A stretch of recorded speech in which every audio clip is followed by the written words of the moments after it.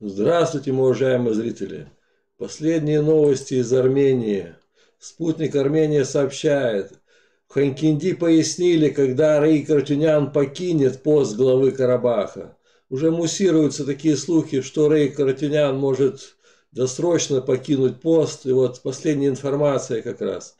В пресс-службе президента, извиняюсь, прокомментировали слухи в прессе и заявили о старте конституционных реформ. Официальный Ханкинди прокомментировал сообщение в армянской прессе о скорой, об скорой отставке главы Нагорного Карабаха Рейка Ратюняна.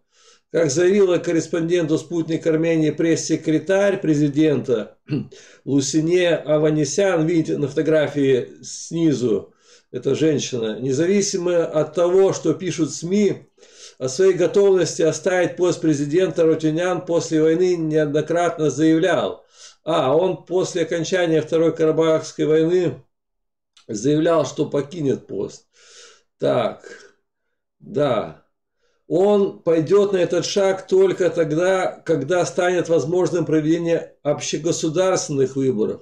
В Карабахе сегодня объявлено начало процесса конституционных реформ, которые дадут ответы на ряд вопросов.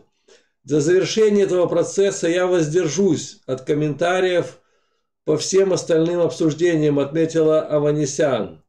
Ранее газета «Грапарак» писала, что Ротюнян на днях выразил готовность подать в отставку. Сам Ротюнян заявил. И политический спектр начал готовиться к досрочным выборам, которые якобы пройдут в следующем году. Напомним, карабахский лидер еще в декабре 2020 года говорил, что уйдет при первой же возможности, если республика будет в состоянии преодолеть сложности, обусловленные общегосударственными выборами. В общем, там идет у них какая-то непонятная возня. То он хочет покидать, то он не хочет покидать. Не знаю. Будем следить за ситуацией. Всем спасибо, всем пока, до новых встреч.